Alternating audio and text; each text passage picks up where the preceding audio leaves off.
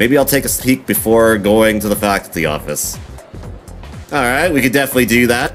Uh, looking around, use the right stick to rotate the camera. By pressing R3, We'll uh, recenter the camera behind the protagonist. Hold up on the D-pad to focus your view closer on, in on the protagonist. Pressing down on the D-pad will reset the camera.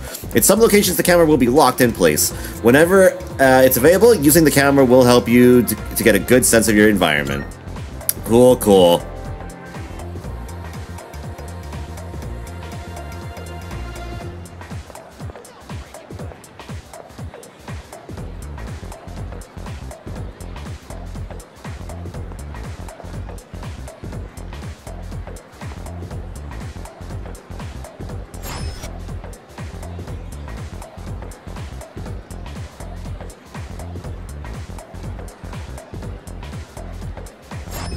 Why is he the first person I see?